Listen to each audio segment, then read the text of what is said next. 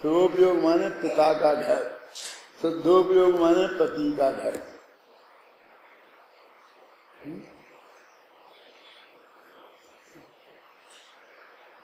और पिता भी कैसा होना चाहिए? गीत रागी सर्वज्ञ कि वो सुनो सुन वाला, ये विभूति ये विभूति सो इंद्र नमत कर नमस, क्या शीश धार। सो इंद्र जिसके चरणों में नमस्कार करते हैं। है मालूम? इस पंक्ति का अर्थ करने में सौ पेज तो मैं लिख सकता हूँ। तू कितना लिख सकता है? वो सबसे होशियार तू ही है ना? खड़ा हो, बता। कितने पेज लिख सकता है? कहेगा इस पंक्ति के अर्थ करने में। सत्य इंद्र नमत नमत कर, शीश सौ इंद्रों का वर्णन शुरू करूँगा। बबड़ा ले चालीसा व्यंकर देवान बत्तीसा कप्पा मरतौरीसा चंद्रो सूर्यो, नरो नरो, फिर सबका वर्णन, फिर सबकी रहने की जगह और सबकी शक्तियों का वर्णन और चक्रवर्ती की उंगली में कितना ताकत थी कि कोई टेढ़ी नहीं कर पाया था। बहुत? क्यों? अब तो लिख लेगा नहीं? कि अब तो मैं दो सौ लिख दूँगा। समझ में आया? ये हमने अरहंत की दशा कर दी। फिर ये करते हैं, ये करते हैं, ये करते हैं। जो बेचारे कुछ नहीं करते, वो सर्वथा करता है। आज तक किसी का कुछ नहीं किया, उन पर हमने इतने आरोप जड़े हैं, इतने आरोप जड़े हैं कि भाई सजे यदि उनकी सजा लगे एक लाख करोड़ वर्ष की सजा दी जाएगी उन्हें। सबका किया। अकेला बचाने का काम थोड़ी किया। ये भगवान करता धरता जिनके यहाँ है, वो मारने का काम भी भगवान ही करता है। कहा बचाने वाला भी भगवान है और मारने वाला भी भगवान है। हमारे यहाँ तो नहीं है। कैसी बात करते हो? बुद्धस तुम्हें क्या बोलो।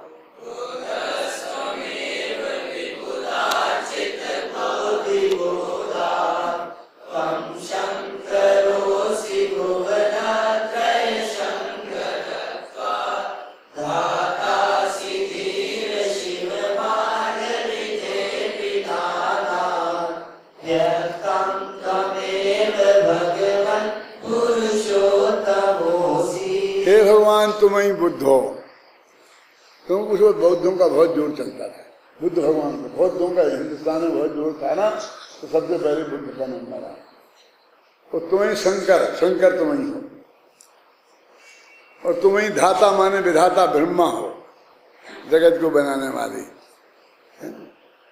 और तुम ही रक्षक हो, है ना? कौन सा आता ना रक्षक चाहिए और तुम ही पुरुषोत्तम हो। जो कुछ हो तुम ही हो, हम सब उनको बना देंगे।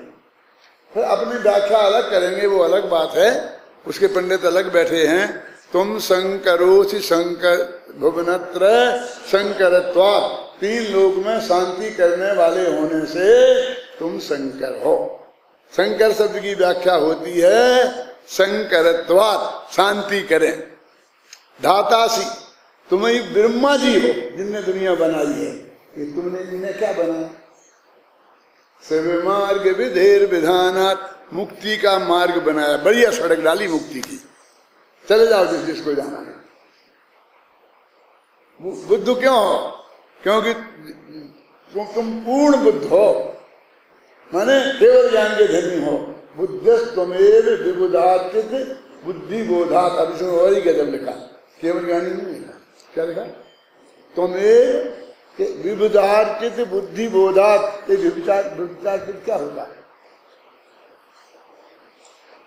विबुध माने देवता भी होता है विबुध माने विद्वान भी होता है। तो विबुधार्चित विद्वानों के द्वारा, देवताओं के द्वारा अर्चित हैं, पूजे जाते हैं करण चरण कमल जिनके। विबुधार्चित का मतलब है अर्चित माने पूजे जाते हैं। ऐसी बुद्धि वाले हो, विबुधार चित बुद्धि बोधार। ऐसे बोध के धनी हो कि जिस बुद्धि के बड़े बड़े देवता बड़े बड़े विद्वान जिसके चरणों में लौटते हैं। इसलिए तुम बुद्ध हो। तुम दुनिया में शांति करने वाले होने से शंकर हो। तुमने मोक्ष मार्ग बनाया, इसलिए तुम धाता हो और तुम ही पुरुषोत्तम पुरुषोत्तम कौन हो जानता कौन है पुरुषोत्तम? है कोई? कोई भगवान है पुरुषोत्तम? नहीं, कोई चिंता नहीं। अभी मैं ज़िंदा हूँ। दो भगवान हैं पुरुषोत्तम दादा। एक लीला पुरुषोत्तम और एक मर्यादा पुरुषोत्तम। सुने नाम के नहीं सुने? मर्यादा पुरुषोत्तम श्री रामचंद्र जी। उन्हें सब तरह की मर्यादाएँ रखी। और लीला पुरुषोत्तम श्री कृष्ण भगवान, जिनने सब तरह की लीलाएँ की। माने जाते हैं। पूछ लेना आप जाकर के, लीला पुरुषोत्तम तो तुम पुरुष, तुम दो ही पुरुषोत्तम हो। कितने रामचंद्र जी है ना, मर्यादा पुरुषोत्तम। कितनी बढ़िया मर्यादा रखी। तो सीता जी को जंगल ही में भेजा। मारा तो नहीं। क्यों? अकेले छोड़ा तो क्या है? क्यों? गर्भवती को छोड़ा तो क्या फ़र्क पड़ता है? इसका नाम मर्यादा पुरुषोत्तम है। मर्यादा पुरुषोत्तम का अर्थ जानते हो? मर्यादा पुरुषोत्तम के भगत लोग क्या अर्थ बताते हैं? सुना कभी? वो भी सुन लो। रामचंद्र जी, जब सीता जी का अपहरण हो गया तो पशु, पक्षियों, कीड़े, मकोड़े, पेड़ों से लताओं से, बेलों से पूछते फिरते थे। कि तुमने हमारी सीता देखी क्यों हे? खगे, हे मृग मधुकर श्रेणी।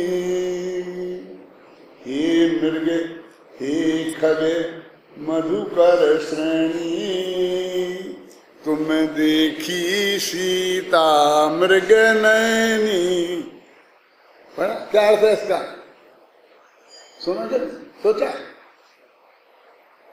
हे मृग मृग माने? अरे, मिट्टी पलीत कर दी क्यों बोलते हो? मृग माने पशु। मृग शब्द पशुओं का प्रतिनिधि है। मृगी, मृगेंद्रम, हिरण सामने नहीं खड़ी रह सकती है। ठीक है? ना भेद किम निशो पलिपाल नार्थम, वो साधारण पशु खड़ा नहीं रह सकता है। जो शेर के सामने अपने बच्चे को बचाने के लिए खड़ा रह सके। ऐसा पशु पकड़ना पड़ेगा। गाय का पे कदाचित हो सकती है। मृग माने पशु और खग माने चिड़िया। अरे खग माने पक्षी, उसमें बेनते भी आएगा, समझे ना? गरुड़ बड़े बड़े पक्षी जो आकाश में जहाजों को ली जाए, जहाज़ लोग हाथी को उठा ले जाए। क्या? खगे? खे गति थी खगा। खे माने आकाश में, जो चले उन्हें बोलते हैं खग। समझे? ना हे खगे, हे मृग, हे खगे और मधुकर सैनी। मधुकर माने? मत बोलो। फिर इज़्ज़त जाएगी। मधुकर माने भोरा नहीं। सब ये उड़ने वाले कीड़े पतंगे जिसमें मच्छर भी आएँगे डेंगू फैलाने वाले। सब होने जो पंखों से चलते हैं और छोटे छोटे हैं। तो आप समझ लो, अभी देखो आधी लाइन है आधी लाइन का अर्थ। हे क्या हे मृग हे खगे मधुकर श्रेणी,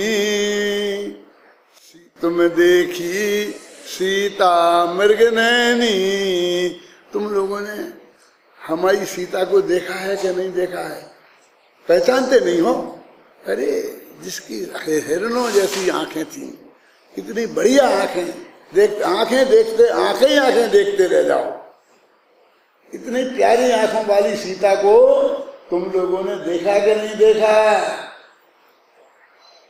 तो फिर उनके शिष्यों ने ही प्रश्न किया तो तुम्हारे भगवान रामचंद्र जी भगवान है। उन्हें इतना पता नहीं था।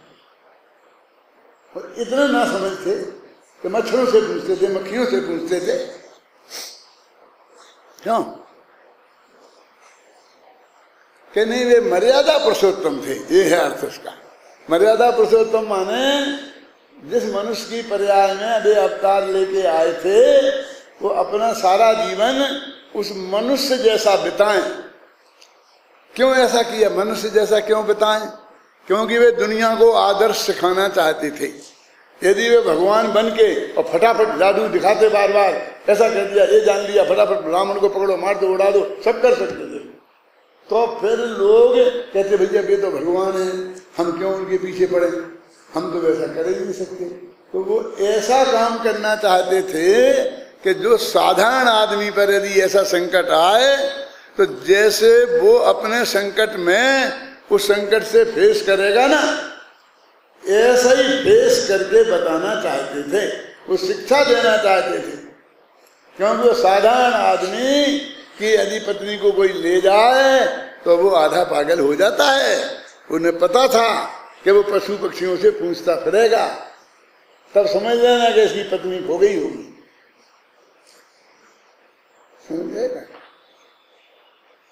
वो कहते हैं वो मर्यादा में थे। वो अपनी सर्वज्ञता का उपयोग नहीं कर सकते थे। लेकिन हमारे जैन दर्शन में ऐसा एक भी सर्वज्ञ नहीं है कि जो सर्वज्ञता का उपयोग ना करे।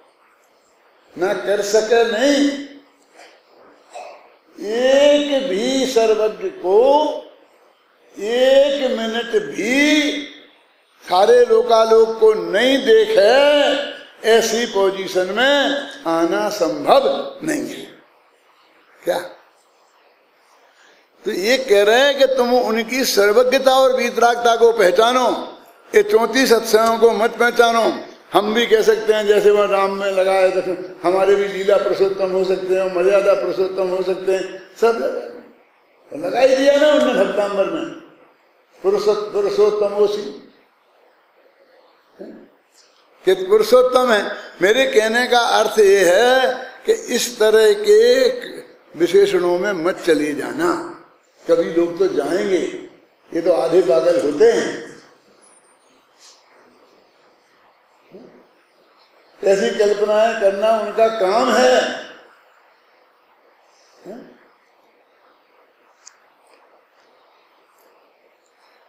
आपकी समझ में आई बात कहने आई? कि ये ये, हम तुम सिर्फ़ दो विशेषण तक सीमित रहना। काय पे सर्वज्ञता और वीतरागता पर। तो जो अरहंत को जानते हैं द्रव्य से माने सर्वज्ञ स्वभावी अरहंत। वितराग स्वभावी अरहंत गुण माने ज्ञान, गुण, ज्ञान स्वभावी अरहंत चारित्र स्वभावी अरहंत और पर्याय माने प्रगट पर सर्वज्ञता और प्रगट वितरागता पूर्ण। ऐसे अरहंत भगवान को जो जानता है। कितना काम सरल हो गया। ये सब छोड़ा छुट्टी छुट्टी इनकी ज़रूरत नहीं है। इन सब चीज़ों का वर्णन कर करके हमको इतना उलझा दिया कि मूल चीज़ गायब ही हो गई। सच बोलो, हम छाती पे हाथ रख करके मेरे प्रभाव में आके नहीं बोलना कि भगवान के सामने जाते हैं तो भाई छत्र चमर के अलावा और क्या दिखता है? वो तो मूर्ति के अलावा और क्या दिखता है? भगवान बीतरागी सर्वज्ञ होते हैं, इस पे ही हमारा उपयोग केंद्रित होता है। इसका पूरा अर्थ हम समझते हैं कि नहीं समझते हैं। सब कुछ नक्की है। ये हमारी समझ में नहीं आता है कि नहीं आता है। और अनंत काल तक भगवान के सर्वज्ञ ज्ञान में सर्वज्ञता का स्वरूप समझने के लिए क्रमबद्ध पर्याय समझनी पड़ेगी कि नहीं समझनी पड़ेगी? अरे समझनी नहीं पड़ेगी, माननी पड़ेगी। क्यों? जब हम सर्वज्ञता का स्वरूप नहीं समझते हैं तो हम जैन दर्शन का ज़ीरो नहीं समझते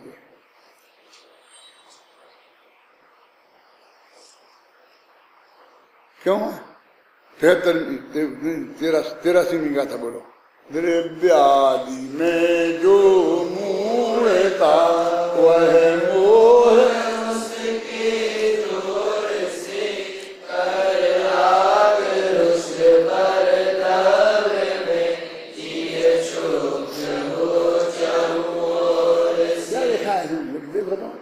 द्रव्यवादी में माने जो छह द्रव्य हैं उनके संदर्भ में जो मूर्ता माने मूर्खता, माने एक द्रव्य दूसरे द्रव्य का करता नहीं है तो एक द्रव्य को दूसरे द्रव्य का करता मानना, एक द्रव्य दूसरे द्रव्य का भोक्ता नहीं है तो उसको एक द्रव्य का दूसरे द्रव्य का भोक्ता मानना, एक द्रव्य दूसरे द्रव्य का स्वामी नहीं है तो एक द्रव्य को दूसरे द्रव्य का स्वामी मानना, एक द्रव्य किसी का कुछ नहीं है तो इसका वो और उसका वो ऐसा उनमें संबंध स्थापित करना, ये क्या है?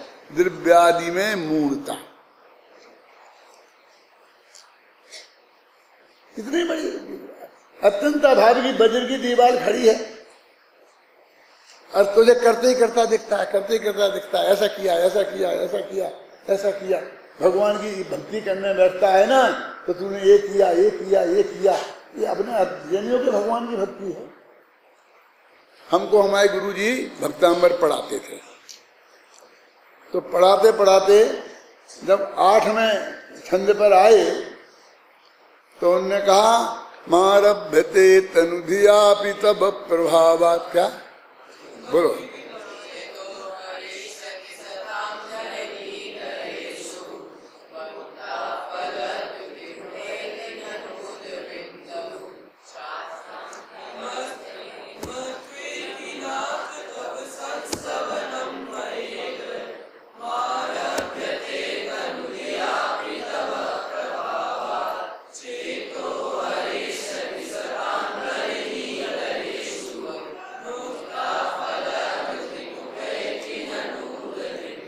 है इसका।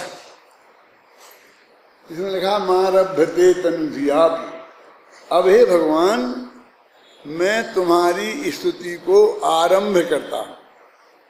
आरभ्य का अर्थ है ना, यद्यपि मेरी बुद्धि बहुत अल्प है, तनु धिया। तनु माने अल्प, और धिया माने बुद्धि। यद्यपि मेरी बुद्धि बहुत अल्प है, फिर भी तब प्रभावात। मैंने तुम्हारे प्रभाव से अब मैं तुम्हारी स्तुति आरंभ करता हूँ। तो मैंने अपने गुरु जी से कहा, मुझे बिल्कुल दृश्य याद है, कैसे बैठे थे हम, कैसे पूछे थे। मैंने कहा, अभी तो ये शुरू कर रहे तो अभी तक क्या कर रहे थे? आठ छंद निकल गए भाई साहब। हम भगवान की स्तुति करते हैं तो आठ छंदों में तो हम पूरी कर देते हैं? हमने भगवान महावीर आपने लिखा ना अष्टक महावीर अष्टक में आठ संत नहीं लिखा भूख पूरे हो गया। है? और कोई लिखते हैं? अभी आठवें छंद में तो ये लिखते हैं कि आरभ्य थे कि आरंभ करता है। तुम्हारे गुरु ने क्या जवाब दिया था? यही तो स्थिति है, और करना क्या है? ये ऐसी बातें करना। क्या? ऐसी बातें करना, और कौन सी स्थिति अलग से क्या करना है? बुद्धियादिना विबुधार्चित। बोलेंगे कि मैं बुद्धि नहीं हूँ, मैं अल्प दिया हूँ, अल्प श्रुतम श्रुत बताम परिहास धामा। मेरी मेरी बहुत कम अकल है और तो लोग हंसेंगे मेरे पर, फिर भी मैं परवाह नहीं कर तो ये, हमारी मम्मी मेरे से कहती थी, बेटा, इसको भगवान की भक्ति कहते हैं। मैंने कहा, मम्मी, तुम सबसे ज़्यादा समझती हो। आज तक किसी पंडित ने नहीं कहा कि इसमें भक्ति मुक्ति है क्या थोड़ा दिखाओ, बस बता, पूरा। मुझे भी अभी और जीना है, विश्वास इसलिए मैं नहीं बताऊँगा। इंदौर में मैं रहता था। जो मोक्ष मंडल का था, मैं तो कुछ एक कार्य करता और वहाँ भक्तांबर मंडल नाम की एक संस्था है। और वो हर शनिवार को, हर रविवार को, हर मंदिर में गाँव गाँव में जाकर के भक्तांबर का अखंड पाठ करती है। तो मैं तो था इस मुक्षु मंडल में। और मेरा मामा सज्जा वो भक्तांबर मंडल का अध्यक्ष था इंदौर और दो ही मंडलों के लोग कहते थे, इन दोनों ने दो ही मंडलों को दाब रखा। मामा का लड़का भी है, अभी है, पूरन चंद नाम है उसका।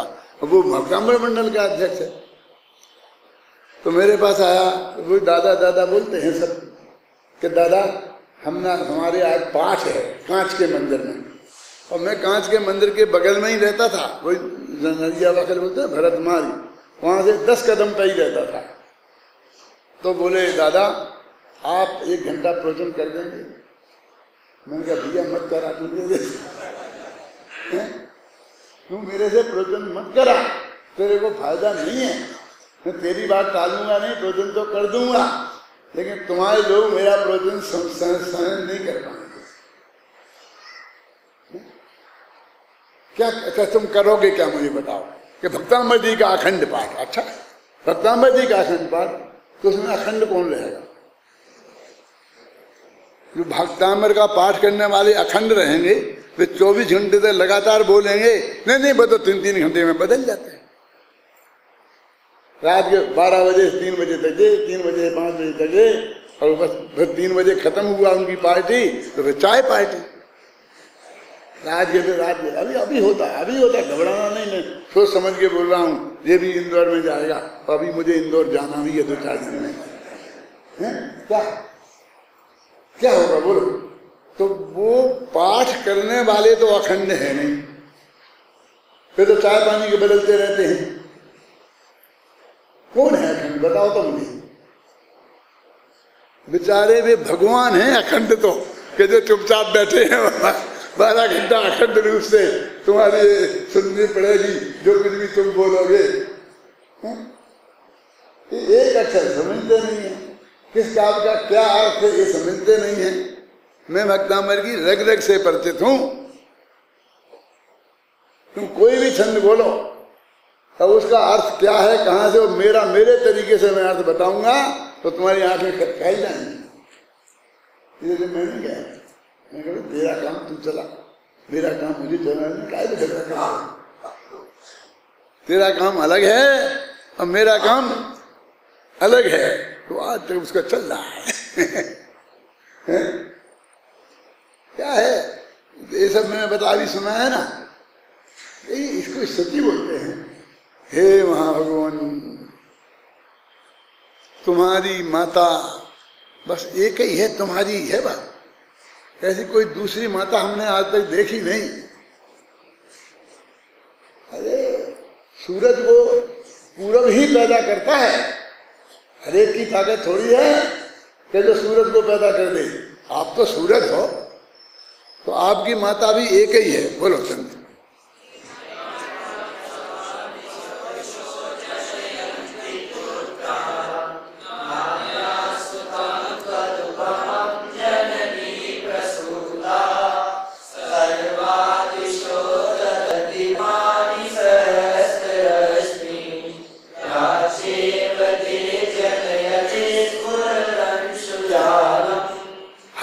माताएँ हज़ारों पुत्रों को पैदा करती हैं। इसमें लिखा है क्या? सहस्रेश जन्मी जन्मी, है ना? और सवे हज़ारों बच्चों को पैदा करती हैं। लेकिन तुम्हारी माँ एक ही थी, जिसने तुम जैसा बेटा पैदा किया। और नहीं थी कोई? नाथ को पैदा करने वाली नहीं थी। वो उन्नीस ही थी। संभवनाथ की मम्मी उन्नीस ही थी। महावीर की माँ उन्नीस ही थी, अकेली ऋषभ देव की मम्मी थी ऐसी। कैसी बात करते हो? भगवान मत मान दूँगा आचार्य मान दूँगा आचार्य अरे कौन से आचार्य ने लिखा मैं कब मना कर रहा हूँ, तुम उसका अर्थ बताओ ना मुझे। फिर ऐसा क्यों लिखा ऐसा ऐसा ही लिखा जाता नहीं आया एक गाँव में कभी ऊँट नहीं देखा था किसी ने। तो ऊँट आया तो सब देख देखो देखो देखो, सारे लोग इकट्ठे हो गए। अब बच्चे ने अपने माँ बाप से पूछे, पापा, ये क्या है? ये क्या है? ये क्या है? तो कहा, भैया, ये ऐसा ही होता है। ये ऐसा ही होता है। तो दूसरा बच्चा बोला, पापा, इसके गले में ये क्या लटक रहा है? कि बेटा ऐसे के गले में ऐसा ही लटका रहता। क्या हमारा ऐसा ज्ञान है। किसी को पता नहीं है कि ये क्या है। समझे ना? ये मैंने गाँव गाँव में सुनाया है तीन सौ जगह। एक, उदाहरण। कली देव नहीं कह रहा हूँ। यदि मैं हाथ उठवाऊँगे किन किन ने सुनाया तो सौ दो सौ हाथ उठ जाएँगे यहाँ। मैं काव्य बताता था कि धर्म चक्र चला था। तो चार धर्म चक्र बने थे, एक मध्य प्रदेश का, एक अलग अलग हिंदुस्तान में। तो वे अलग स्टाइल से बने थे। साधारण से ऐसे बना पर बनाते थे और उस पर चला करके धीरे धीरे चलते थे। ऐसे बने थे। ये एक एक घंटे में पाँच किलोमीटर, सात किलोमीटर चले और ऐसे उस पर बनाए थे तो वो ऐसा रहता था। फिर हमने गुजरात का धर्म चक्र बनाने का मौका बाबू भाई ने कहा, अपन धर्म चक्र है। कि रोजीना एक हज़ार सारे सिद्ध की वंदना करेंगे और तीन महीने तक चलेंगे, सौ दिन में हज़ारों किलोमीटर चलेंगे। तो वो रस कैसा होना चाहिए कि जैसे अपनी कार दौड़ती है, इतनी तेज़ी से दौड़े। और धर्म चक्र के ऊपर बनाना था। हमने यही यही सामने खड़े रह करके वो धर्म चक्र बनवाया था। कौन बताया कैसा बनाना चाहिए? आदर्श तो वो था, कौन जो दिल्ली में बन रहा था? उसके फ़ोटो आ गए थे अखबारों में, सब आ गया था। और कोई धर्म चक्र तो ज़मीन पे ही आ गए थे। हमने बनाया इसको। एक बोली थी, कौन सी गाड़ी ली थी? और उस गाड़ी के ऊपर ऐसा ऐसा ऐसा ऐसा धुआँ कहते, वो घूमता था तेज़ी पतंग जैसा। या तो दिखाना सो याद है कुछ? तो अब हर गाँव में मुझे जाकर के धर्म चक्र पर व्याख्यान देना पड़ता था। दो व्याख्यान होते थे मेरे एक अहिंसा पर, एक बाबू भाई मेरे को आगे कर देते तो मैं गाँव गाँव में सुनाता है कि धर्म चक्र कैसा होता है। तो ऐसा होता है जैसा हमने बनाया है। और वो उनने बनाया है वैसा नहीं होता है। बता भेजा ना फ़ोटो मोटो कहाँ से लाए? कैसा होता है? वो उनका किसने देखा है, वो हमें बताए कि ऐसा होता है। हमारा सार सबका ज्ञान ऐसा ही है। क्या? कि धर्म चक्र क्या होता है? एक घंटा बोलता था धर्म चक्र का। चक्र बोलते हैं समूह को। देवेंद्र चक्र भुवनेन्द्र चक्र, धर्मेंद्र चक्र। तीर्थंकर का धर्म चक्र है ना? तो धर्मात्माओं के समुदाय को धर्म चक्र कहते हैं। चक्र माने समूह और धर्म माने धर्मात्माओं का। तो हमारा धर्म चक्र सच्चा इसलिए है कि हमारे साथ धर्मात्माओं का एक समूह, एक हज़ार लोगों का यात्रा में जाता है। ऐसा धर्म चक्र होता है। तुम अच्छे आदमी जाते हैं। और एक पंडित, एक चपरासी, एक वो करने वाला, घंटा बनाने वाला, एक ड्राइवर। एक ड्राइवर के साथ क्या होता है? क्लीनर। तो छह आदमियों का जाता। हमारा एक हज़ार आदमी का जाता। और उनने तुम्हें समझाया कभी कि धर्म चक्र कैसा होता है? हम बताते हैं हर जगह। भगवान का समोषण चलता था ना तो उसमें हज़ारों लोग साथ में चलते थे। उसको धर्म चक्र का परिवर्तन कहते हैं। तो ऐसा चल रहा है। तुम अकेला इसको क्यों देखते हो? ये पूरा ये धर्म चक्र है। अभी अपना व्याख्यान हो रहा है ना तो ये धर्म चक्र चल रहा है। देखो, धर्म की चर्चा हो रही है। भगवान के संवत्सर में जैसे लोग थे, तत्व के जिज्ञासी, वे सब बैठे हैं और धर्म की बात हम सुना रहे हैं और यहाँ चले हैं। अब आज जयपुर में सुना रहे हैं, कल देवलाली में सुनाएँगे, परसों बम्बई में सुनाएँगे तो हमारा धर्म चक्र चल ही रहा है। महावीर का तो तीस साल तक चला था। हमारे तो अड़तालीस साल हो गए चलते। एक दिन भी नहीं होता। क्यों?